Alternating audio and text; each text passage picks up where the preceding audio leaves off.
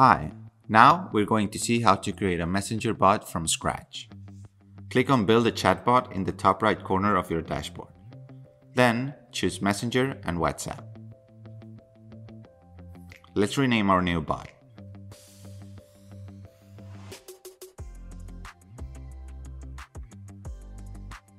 Notice at this point that the new bot has both the logos of Facebook and WhatsApp.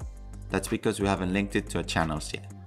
You can keep it like this if you're taking your time to build a bot.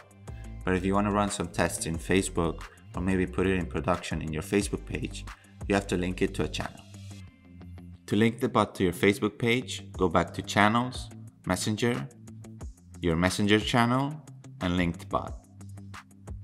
Then choose the bot from the drop-down menu and click on Link Bot.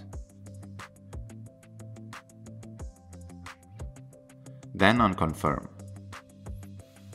Notice that if you go back to the dashboard, the bot's logo has changed to the Messenger logo.